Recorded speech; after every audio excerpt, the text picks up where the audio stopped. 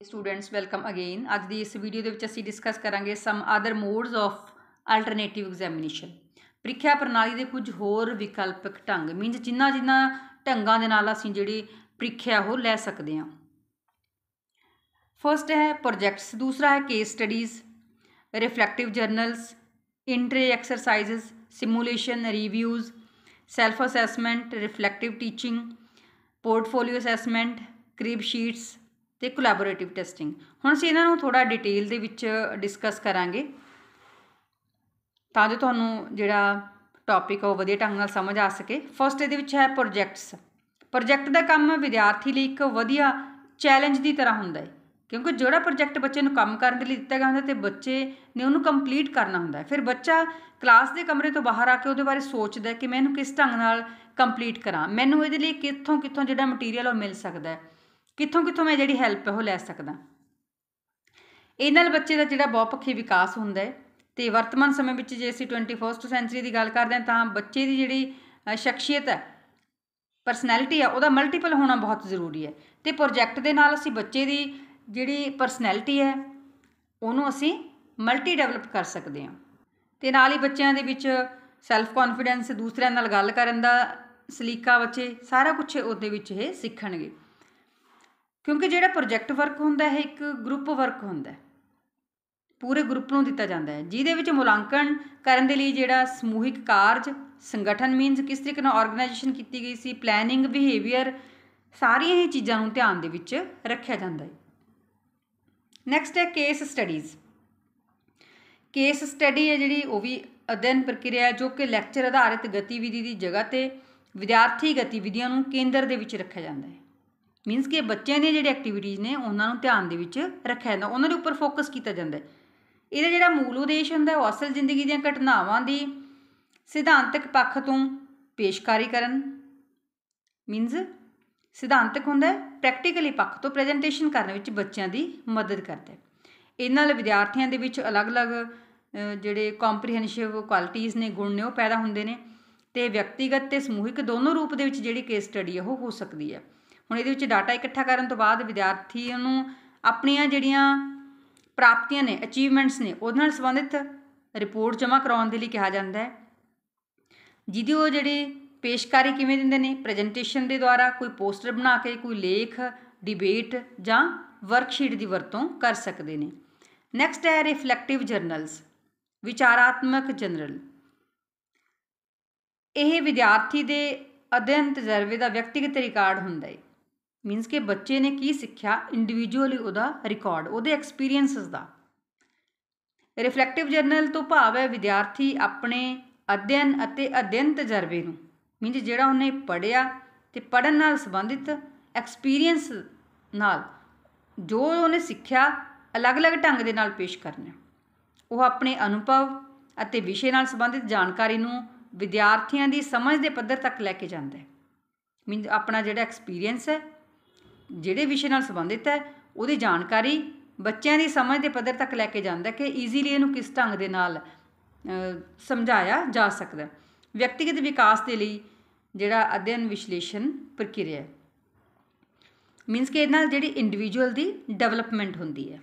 Next ਹੈ ਇੰਟਰੇ exercises ਇੰਟਰੇ ਜਿਹੜੇ exercise ਨੇ ਉਹ ਸਾਰੀਆਂ ਨੌਕਰੀਆਂ ਭਾਵ ਜਿਹੜੀਆਂ ਐਡਮਿਨਿਸਟ੍ਰੇਟਿਵ ਤੋਂ ਲੈ ਕੇ ਸੀਨੀਅਰ ਮੈਨੇਜਰ ਤੱਕ ਦੀਆਂ ਜਿੰਨੀਆਂ ਵੀ ਜੌਬਸ ਨੇ, ਉਹਨਾਂ ਦੇ ਮੁਲਾਂਕਣ ਦਾ ਇੱਕ ਇਹ ਕੇਂਦਰੀ ਧੁਰਾ ਹੁੰਦਾ ਹੈ ਮੀਨਸ ਸੈਂਟਰ ਪੁਆਇੰਟ ਪੁਆਇੰਟ ਹੁੰਦਾ ਹੈ। ਇਹਦੇ ਵਿੱਚ ਜਿਹੜੇ ਪ੍ਰੀਖਿਆਰਥੀ ਨੇ, ਉਹਨਾਂ ਦੇ ਖਾਸ ਗੁਣਾਂ ਦੀ ਪਹਿਚਾਣ ਕੀਤੀ ਜਾਂਦੀ ਹੈ, ਜੋ ਕਿਸੇ ਜਿਹੜੇ ਜਨਰਲ ਟੈਸਟ ਕੀਤੇ ਜਾਂਦੇ ਨੇ, ਉਹਨਾਂ ਦੇ ਬੇਸ ਤੇ ਪਰਖੇ ਨਹੀਂ ਜਾਂਦੇ।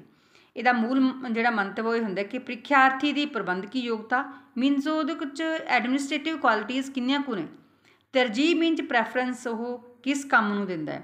ਸੰਚਾਲਨ ਸਮੱਸਿਆ ਦਾ ਹੱਲ ਕਰਨਾ ਤੇ ਪ੍ਰਬੰਧਨ ਕੁਸ਼ਲਤਾ ਮੀਨਸ ਐਡਮਿਨਿਸਟ੍ਰੇਟਿਵ ਐਫੀਸ਼ੀਐਂਸੀ ਕਿੰਨੀ ਕੁ ਹੈ, ਇਹਨਾਂ ਸਾਰੀਆਂ ਚੀਜ਼ਾਂ ਨੂੰ ਪਰਖਣਾ ਹੁੰਦਾ ਹੈ ਨੈਕਸਟ ਹੈ ਸਿਮੂਲੇਸ਼ਨ ਸਿਮੂਲੇਸ਼ਨ ਕੰਮ ਦੇ ਵਿੱਚ ਜਿਹੜਾ ਪ੍ਰਤੀਭਾਗੀ ਪ੍ਰਤੀਭਾਗੀ ਮੀਨਸ ਵਿਦਿਆਰਥੀ, ਪ੍ਰਤੀਯੋਗੀ, ਉਹਨੂੰ ਇੱਕ ਟੀਚਾ ਦਿੱਤਾ ਜਾਂਦਾ ਹੈ ਮੀਨਸ ਕੋਈ ਗੋਲ ਦਿੱਤਾ ਜਾਂਦਾ ਹੈ ਜੋ ਉਸ ਦੇ ਕੰਮ ਦੇ ਨਾਲ ਸੰਬੰਧਿਤ ਹੁੰਦਾ ਹੈ ਭਾਵ ਕਿ ਉਹਦੀ ਨੌਕਰੀ ਦਾ ਹੀ ਇੱਕ ਹਿੱਸਾ ਹੁੰਦਾ ਹੈ ਉਸ ਨੂੰ ਸੰਬੰਧਿਤ ਘਟਨਾ ਦੇ ਉੱਪਰ ਕਿਰਿਆਤਮਕ ਕਾਰਗੁਜ਼ਾਰੀ ਪੇਸ਼ ਕਰਨੀ ਪੈਂਦੀ ਹੈ। ਮੀਨਜ਼ ਜਿਹੜਾ ਉਹਨੂੰ ਗੋਲ ਦਿੱਤਾ ਜਾਂਦਾ ਹੈ, ਉਹਦੇ ਨਾਲ ਸੰਬੰਧਿਤ ਇੱਕ ਜਿਹੜੀ ਪਰਫਾਰਮੈਂਸ ਹੈ, ਉਹਨੇ ਉਹ ਪੇਸ਼ ਕਰਨੀ ਹੁੰਦੀ ਹੈ। ਇਹ ਢੰਗ ਇਨੀਸ਼ੀਅਲ ਸਰਟੀਫਿਕੇਸ਼ਨ ਦੇ ਲਈ ਵਧੇਰੇ ਢੁਕਵਾਂ ਹੈ।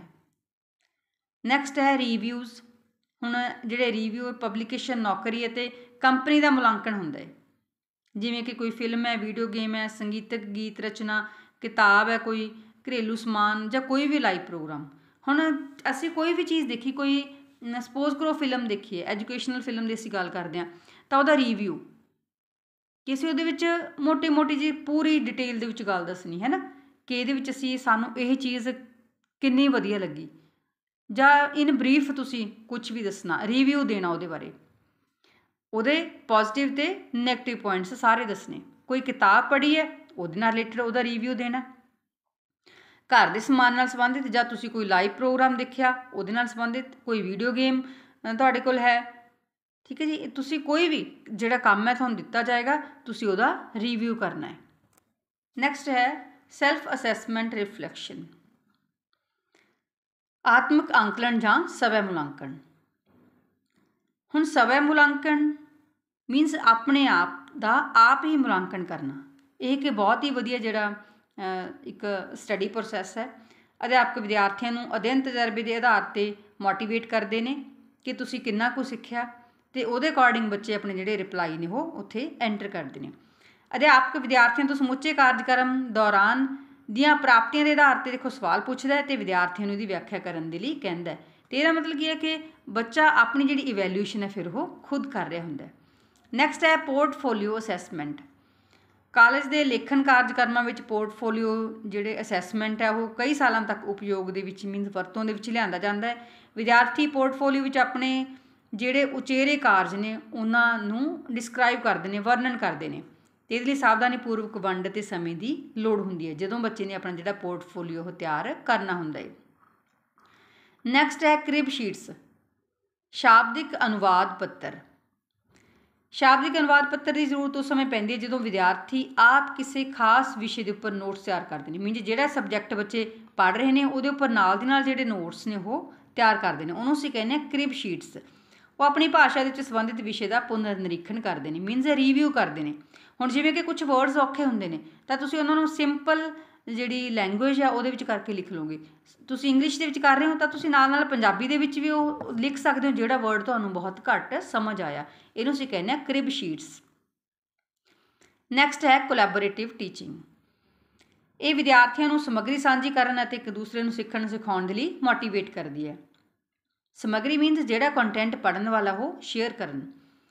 ਕੋਲੈਬੋਰੇਟਿਵ ਟੀਚਿੰਗ ਕੀ ਹੈ? ਆਲੋਚਨਾਤਮਕ ਤੇ ਰਚਨਾਤਮਕ ਸੋਚ ਦੀ ਪਰਖ ਸਮੇਂ ਲਾਭਦਾਇਕ ਸਿੱਧ ਹੁੰਦੀ ਹੈ। ਮੀਨਜ਼ ਅਸੀਂ ਜਦੋਂ ਬੱਚੇ ਦਾ ਦੇਖਣਾ ਕਿ ਉਹ ਕਿੰਨੇ ਕੁ ਵਧੀਆ ਢੰਗ ਦੇ ਨਾਲ ਕਿਸੇ ਚੀਜ਼ ਨੂੰ ਐਨਾਲਾਈਜ਼ ਕਰ ਸਕਦਾ ਹੈ ਜਾਂ ਕਿੱਥੇ ਉਹਦੀ ਜਿਹੜੀ ਕ੍ਰੀਏਟਿਵ ਥਿੰਕਿੰਗ ਹੈ, ਉਹਨੂੰ ਟੈਸਟ ਕਰਨ ਦੇ ਲਈ ਵਰਤੀ ਜਾਂਦੀ ਹੈ। ਇਹ ਕਈ ਢੰਗਾਂ ਦੁਆਰਾ ਅਸੀਂ ਕਰ ਸਕਦੇ ਹਾਂ। ਜਿਵੇਂ ਕਿ ਵਿਦਿਆਰਥੀਆਂ ਨੂੰ ਵਿਚਾਰ ਚਰਚਾ ਦੇ ਲਈ ਸਮੂਹਾਂ ਦੇ ਵਿੱਚ ਗਰੁੱਪਸ ਦੇ ਵਿੱਚ ਵੰਡ ਸਕਦੇ ਹਾਂ ਜਾਂ ਦੋ ਦੋ ਦੇ ਜਿਹੜੇ ਜੋੜੇ ਨੇ ਉਹ ਬਣਾ ਸਕਦੇ ਹਾਂ। ਪਰ ਜਵਾਬ ਦੇ ਵਿੱਚ ਵਿਦਿਆਰਥੀ ਹੈ ਜਿਹੜਾ ਵਿਅਕਤੀਗਤ ਰੂਪ ਦੇ ਵਿੱਚ ਅਲੱਗ-ਅਲੱਗ ਉੱਤਰ ਪੱਤਰਿਕਾ ਤੇ ਲਿਖੇਗਾ। ਕਿਉਂਕਿ ਹਰੇਕ ਬੱਚੇ ਦਾ ਜਿਹੜਾ ਵਿਅਕਤੀ ਦਾ, ਵਿਦਿਆਰਥੀ ਦਾ ਰਿਸਪੌਂਸ ਹੈ ਉਹ ਅਲੱਗ-ਅਲੱਗ ਹੋਏਗਾ। ਭਾਵੇਂ ਅਸੀਂ ਇਹਨਾਂ ਨੂੰ ਗਰੁੱਪਸ ਦੇ ਵਿੱਚ ਡਿਵਾਈਡ ਕਰਤਾ ਬਟ ਜਿਹੜੇ ਉਹਨਾਂ ਦੇ ਕੁਐਸਚਨਾਂ ਦੇ ਆਨਸਰ ਨੇ, ਉਹ ਬੱਚੇ ਨੇ ਇੰਡੀਵਿਜੂਅਲੀ ਆਪਣੇ ਲਿਖਣੇ ਨੇ।